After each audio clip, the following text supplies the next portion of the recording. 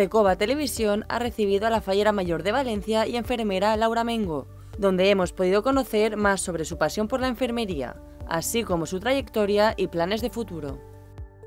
La nueva invitada a las cámaras de Cecoba Televisión es la fallera mayor de Valencia, Laura Mengo, bienvenida. lo primero de todo, ¿cómo una enfermera ha acabado siendo fallera mayor? Bueno, al final eh, soy fallera desde el día que nací y bueno, pues cuando uno se va haciendo mayor nos eh, empieza a pensar qué quiere ser y siempre he tenido muy claro que, que mi vocación era, era ser enfermera. ¿Y por qué elegiste ser enfermera?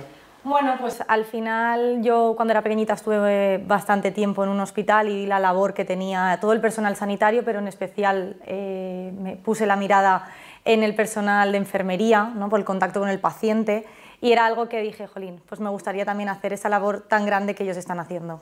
Y Laura, ¿qué es lo que más te gusta del trabajo como enfermera? Estuve bueno, casi un año en un centro de salud en Catarroja y luego estuve tres meses en maternidad y la verdad es que puede sonar muy típico, pero lo que más me gusta ¿no? de, nuestra profesión es que la ayuda que haces a, la gente, tanto enfermo como sano, la promoción de la salud también para mí es algo muy importante, así que eso es algo que a mí me llena muchísimo.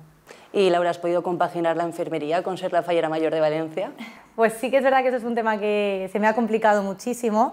Además, el día que yo fui nombrada en Fonteta, que estaba dentro de las 13 candidatas, eh, acababa mi contrato de verano, así que ahí decidí paralizarlo todo un poco y conforme fuera viendo cómo, cómo se avecinaba todo, pues decidiría. Y la verdad es que fue una decisión para mí muy acertada porque he paralizado ahora mismo mi, mi trabajo y he podido disfrutar también de, las fallas, pero bueno, en breves ya voy a volver a, a empezar a, a, trabajar. De hecho, hoy mismo ya he recibido una llamada, así que seguramente en verano ya pueda compaginarlo por fin. ¿Y cuáles son tus planes respecto a la enfermería cuando acabe tu año como fallera mayor?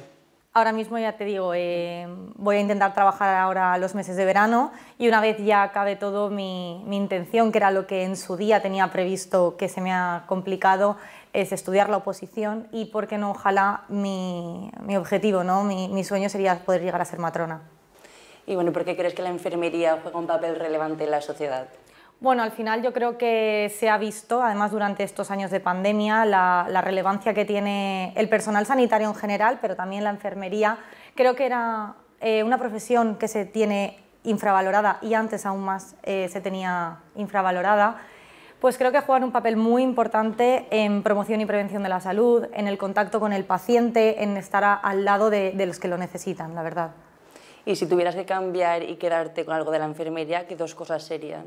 Pues justo lo, que he dicho, si tuviera que cambiar algo sería pues, la infravaloración que, que la verdad es que sufrimos, todos lo, el personal sanitario y el personal de enfermería, temas financieros no voy a entrar, pero sí que es verdad que que a lo mejor es el papel que ejercemos se debería de valorar muchísimo más y, y bueno, pues algo con lo que me quedaría, pues lo, lo, que he dicho, ¿no? Al final te llena. Esto es, es una profesión para mí, considero que es una profesión muy vocacional y que tú llegas a casa y sin duda el trabajo que has hecho durante todo el día, el ver que tú has podido ayudar al resto de las personas, eso para mí es algo que jamás cambiaría.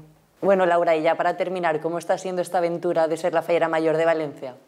La verdad es que tú tienes unas expectativas, pero, pero han superado totalmente. Ha sido un camino súper bonito, ha sido una experiencia única, he conocido muchísimas personas, he aprendido muchísimo también de Valencia y de las fallas y creo que es una experiencia única que puede vivir muy pocas mujeres eh, en Valencia, así que sin duda ha sido el año de mi vida.